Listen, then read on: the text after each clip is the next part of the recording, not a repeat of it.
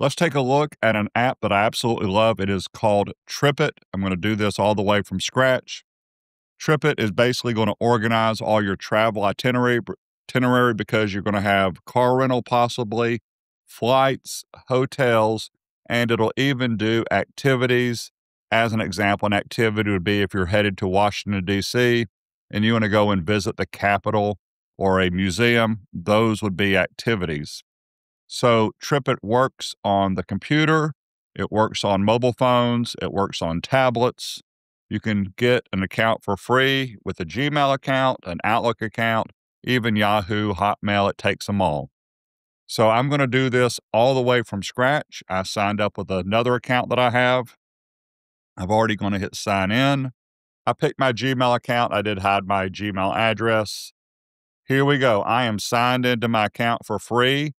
Your upcoming trips, notice I don't have any. Past trips, I don't have any. So I just signed in here. So the first thing I'm going to do is add a trip. And I, this, is actually a true trip. I'm headed to a beach I've never been to before, Vero Beach, and it should pull this up.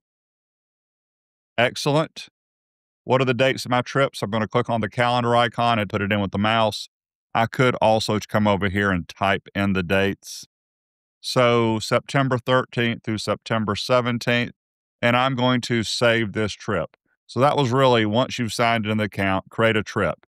Now, on the screen here, it does say add a plan. The plan is your hotel, your rental car. That is part of your plan. I'm going to click on add a plan. And notice that most popular for Vero Beach is activity, flight, lodging. Well, I'm also going to have a car rental. So I click on car rental and it wants me to put in this information. We are trying to work as quickly and efficiently as possible. And this is not productive sitting here manually typing stuff. So I'm going to go hit back, discard edits. I've still got this trip planned. Two nice features that TripIt has. One, you can sync your email account and it would go and look through your Outlook or Gmail and it scans it for travel information and then it'll automatically populate it over here. I don't actually care for that feature. I don't want it scanning. And uh, if you pick that feature, it's okay. It will scan two or three times a day, is what the help files say. But you can also just forward an email that you get to TripIt. So that is what I'm going to do. So let's talk about my car rental first. I'm going to pull up my email account. Uh, here's my email account, Enterprise Rent a Car. I'm going to forward this email. I don't care if you see this email, it's plans at tripit.com. Hit send. After sending that email or forwarding that email, it does take approximately 60 seconds to two minutes to, for that to sync over. You do get notified it came over. I actually have a message up here that it pulled that in. I can look down below here. Enterprise Rent a Car, that is the correct date that I'm getting it around noon. And there is the drop off on the 17th around 10 a.m. That is also correct. So it did pull that in correctly. So now I'm going to go ahead and do the same with my flight information but before I forward my flight information, I do want to point this out. This is going to be a question you have is when you sign up for TripIt, it's going to ask for a primary email account.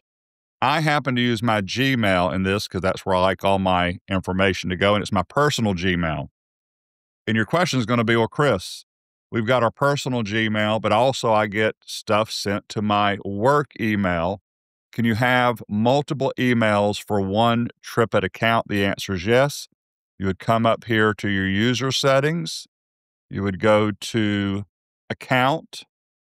After you go to your account, here is where you continue to add more additional email addresses so you could forward those emails to your TripIt.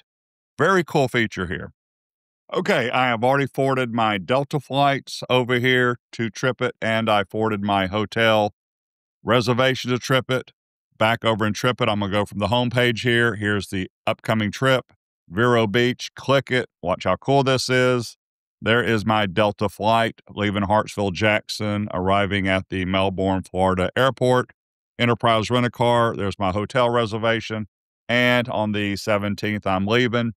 Any activities that I booked that hit my email, I could forward those and they would populate in here also. So that is what adding a plan does. Just so you know this, you can remove items in here, not a problem. That's easy to do. I'm to go back to trips. When I'm back on this trip here, if you want to edit the name of the trip, because I called it Vero Beach, you would hit edit. You can change that name here. You can change the dates right here. I'm to cancel that. That's all good. More options. This allows you to print the trip. You can merge trips. You can delete trips. You can export the trip to the calendar and you can view the trip cost. I'm going to go with print trip right here, right there. The you can hide maps and directions if you need to. So there you have it right there. Great, great feature. Everything is here in one place. It's on my mobile phone. I've got all my confirmation numbers. I love Microsoft OneNote and I've used OneNote for trip planning for multiple years, but now I am using TripIt. It is the way I like to work.